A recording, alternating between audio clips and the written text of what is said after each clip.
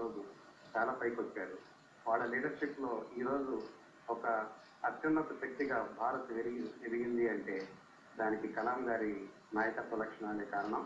ఆయన నాయ పంతొమ్మిది వందల ఎనభై ఆరు నుంచి తొంభై రెండు దాకా ఆయన కింద డైరెక్ట్గా పనిచేశానండి ఆ తర్వాత కూడా తొంభై రెండు తర్వాత ఆయన సైంటిఫిక్ అడ్వైజర్ అయిన తర్వాత కూడా ఆయనతో కాంటాక్ట్లో ఉండేవాడిని.